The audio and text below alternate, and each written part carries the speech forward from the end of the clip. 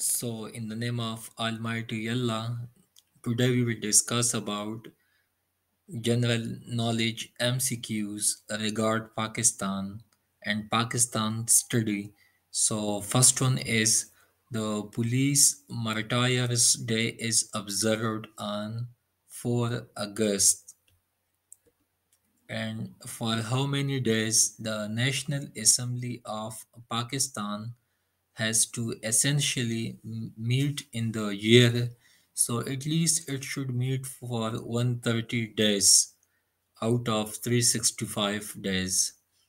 And headquarter of pakistan railways is in lahore and it was founded during british time on 13 may 1861 and Mas is a prominent poet of Balochi language, and the elite force of Punjab was formed in 1998.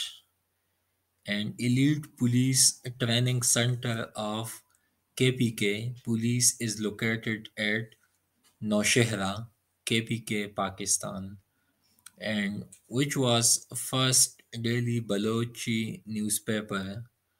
So Roznama Nawai Watan was the first Baloch or Balochi newspaper and the headquarter of Ministry of Defense MOD is located in Rawalpindi and so it's all for today. Thanks for watching Dawn Times. Stay up to date. Thank you.